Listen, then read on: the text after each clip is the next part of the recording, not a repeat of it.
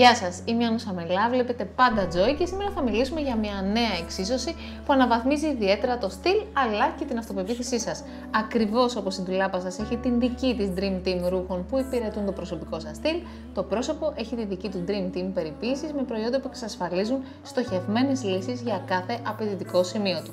Και ακριβώς όπως η ντουλάπα και το πρόσωπο, τα μαλλιά, και πιο συγκεκριμένα για να είμαστε ακριβείς στο τριχωτό του κεφαλιού, έχει τη δική του Dream Team ομορφιάς. Δεδομένου ότι η συγκεκριμένη επιδερμίδα είναι 4 φορές πιο λεπτή, 4 φορές πιο ευαίσθητη και 2 φορές λιγότερο ελαστική από την επιδερμίδα του προσώπου, διεκδικεί και πλέον αποκτά το δικό της σύστημα φροντίδας. Το αποτέλεσμα, μια υγιής βάση που εξασφαλίζει υγιή μαλλιά. Με όρους της μόδας δηλαδή, κάτι σαν να λέμε μια back to basic στρατηγική.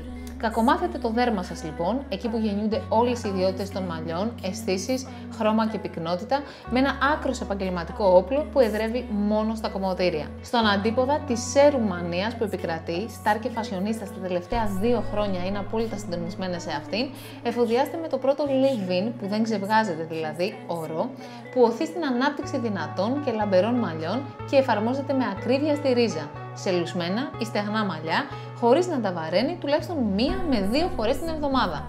Α δούμε μαζί το τελετουργικό της απολαυστικής εφαρμογής του μαζί με την ιδανικά τρίμηνη θεραπεία πυκνότητας για δυνατό σώμα και ποιότητα στα μαλλιά.